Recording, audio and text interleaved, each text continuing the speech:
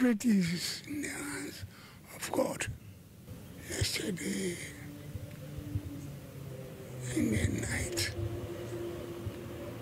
I started vomiting. So it is critical for me. Victor Somena has been waiting at the Korle Bu Teaching Hospital renal unit for nearly an hour scheduled for his dialysis. However, he has been told to seek the service elsewhere because the unit is currently closed for maintenance. This is a particularly challenging time for Victor and his wife explains that he swells up easily and vomits consistently without dialysis. They have no other option but to wait and hope for a miracle. The 80 year old man appears weak and is unable to walk due to his condition. Seated in the car while his wife searches for answers about his cancelled dialysis, he looks broken and tired. We are here to continue our treatment. They told us, that we should not come and then they have some problem.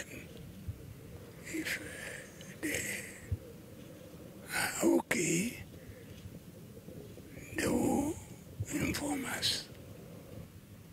Basically, they have got short of items which they will use. So they are seriously looking for those that as soon as they get the items they will ring us.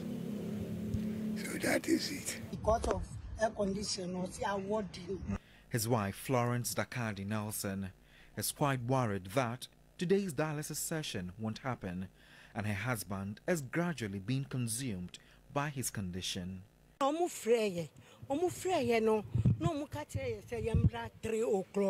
the unit called us yesterday and told us to come at 3 a.m. An hour later, they called back and cancelled, saying they had an emergency and we shouldn't come.